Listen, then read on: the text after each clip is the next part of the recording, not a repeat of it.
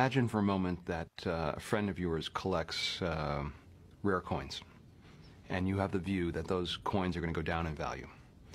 So, the way you would short those coins is you call up your friend and say, Can I borrow a few of your coins? And he says, Sure. Uh, and you borrow the coins. You then sell them for the $1,000 each that they sell for in the market at the time.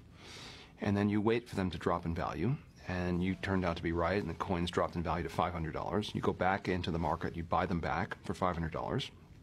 You've sold them for 1000 You've repurchased them for 500 You've made $500 on each coin. And then you return the coins to your friend. Your, your friend is in the same place he was when he started, and he has the same coins that he started.